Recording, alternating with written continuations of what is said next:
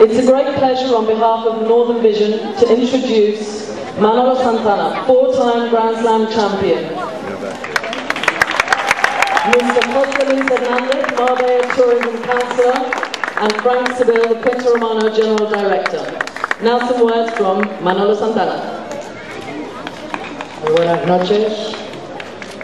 Solamente felicitar a la organización del torneo por este evento tan importante. Se han hecho tantas cosas aquí en Marbella de tenis que esta es una más. Felicito a los niños pelotas que habéis hecho un trabajo buenísimo, a los jueces de línea y a todos los que habéis colaborado, silla, todos los que habéis colaborado para que este torneo tenga tanto éxito como el que se ha tenido. Para mí es un placer estar aquí con dos jugadores tan increíbles como son John Bor y Pat que son campeones de Wimbledon, y luego Aguenon y Nanawi.